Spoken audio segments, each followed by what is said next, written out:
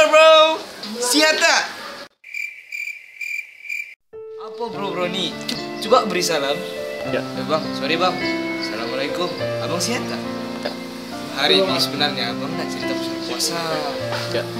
Puasa dari segi bahasa bermaksud menahan lapar dan dahaga ketika terbit matahari sehingga terbenamnya matahari.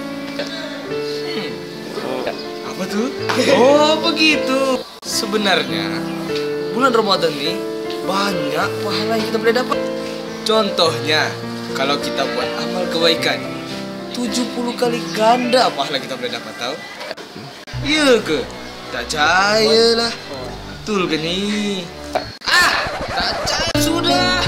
Okey, bah, aku nak pergi sembahyang Jumat dulu. Salam bro. Ui, marah ke? Tadi bilang tak boleh bro bro. Sekarang dia pula guna bro. Bye. Jadi gue bilang, eh, gue harus bilang wow gitu.